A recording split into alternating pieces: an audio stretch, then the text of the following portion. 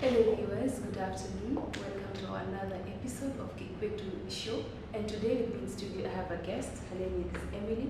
Emily, she's going to tell us what she has for us today. Karibu sana Emily. So, can you tell us who is Emily? My name is Emily Onyango. I'm a fourth year student at Daystar University and uh, founder of Team Revolution community-based organization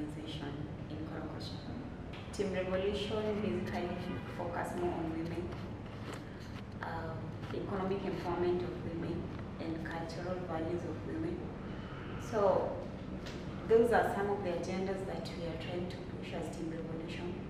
Because uh, uh, personally, I had a challenge uh, when I was growing up as a, as a young girl in our household. So, uh, Team Revolution, as the name says, it's basically no judgment. So, this is uh, we take everyone in because what we are trying to bring out is the things that people don't talk about, the issues that people don't talk about uh, on gender-based violence. We have issues of gender-based violence every day in the informal settlements. Let me not only say in the informal Yeah. settlements. We have issues of gender-based violence almost everywhere. But in the informal settlement, it was worse because of so they are not reported one, and then it to them it was normalized, like it's normal, Yeah. and um, There's no one to speak for them. there's not voice for them, and then there's issue of people are just even young girls, even young girls are, are just road. You see, they're they're just they have full negative energy. You see, they're just tough for nothing. So those are some of the things that we've worked in during the training.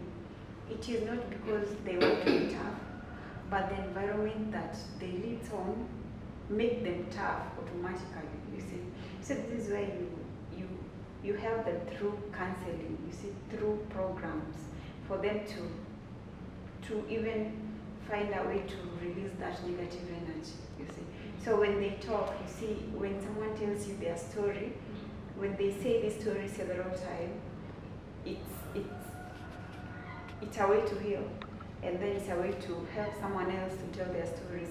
So when these stories are being told every time, people get to take action. People people get to know that gender-based violence is not normal. Yeah. When someone beats me, I need to report. Yeah. When someone violates my right, mm-hmm. I need to go here. Mm-hmm. I can report this, I can report this.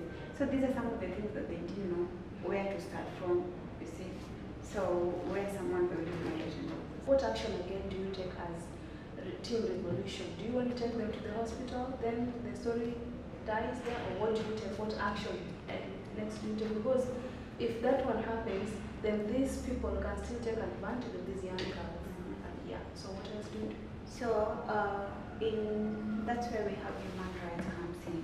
Right. Yeah, we work with uh, different women's rights and human rights. For example, we've worked with uh, social justice in Mathare, social justice in um, Korogocho. So there's a